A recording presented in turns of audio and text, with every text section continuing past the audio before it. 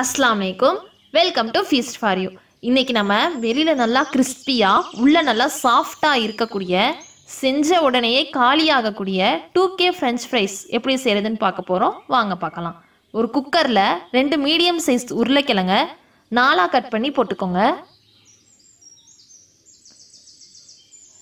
அப்புறமா உருளைக்கிழங்கு வேகிறதுக்கு தேவையான அளவு தண்ணி ஊற்றிக்கோங்க தேவையான அளவு உப்பு போட்டுக்கோங்க. இதை நம்ம நல்லா வேக வச்சு எடுத்துக்கலாம்.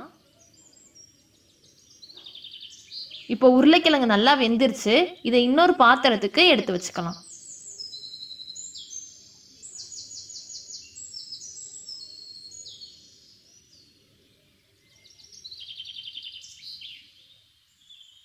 உருளைக்கிழங்கு நல்லா ஆறுனதும் இந்த மாதிரி தோல் சிவி வச்சுக்கோங்க. இதை இப்போ நம்ம நல்லா மேஷ் பண்ணி எடுத்துக்கலாம். நல்லா இந்த மாதிரி மேஷ் பண்ணிக்கோங்க. இப்போ இதில் நம்ம மசாலா சேர்த்துடலாம். ரெண்டு பூண்டு பல்ல சின்ன சின்னதாக கட் பண்ணி போட்டுக்கோங்க. ஒரு டீஸ்பூன் மிளகுத்தூள். தேவையான அளவு உப்பு. அரை டீஸ்பூன் மிளகாய்த்தூள். அரை டீஸ்பூன் சில்லி ஃப்ளக்ஸ். சில்லி ஃப்ளக்ஸ்னால் எதுவும் இல்லை.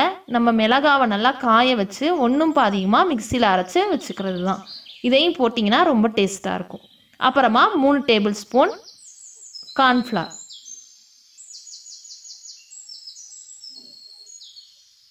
இது எல்லாத்தையுமே நல்லா மிக்ஸ் பண்ணி எடுத்துக்கோங்க.